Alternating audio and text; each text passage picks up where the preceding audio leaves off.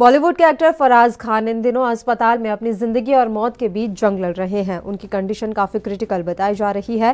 फराज को brain infection और pneumonia हुआ है। वहीं एक्टर सलमान खान फराज की मदद को आगे आए हैं। उन्होंने फराज के मेडिकल्स बिल दिए हैं। इस पर एक्ट्रेस और कृष्णाभिषेक की पत्नी कश्मीरा शाह ने ये जानकारी दी है। कश्मीरा शाह ने लिखा है कि सलमान, आप सच में महान इंसान हो। फराज की देखभाल करने और उनके मेडिकल बिल्स के लिए थैंक यू।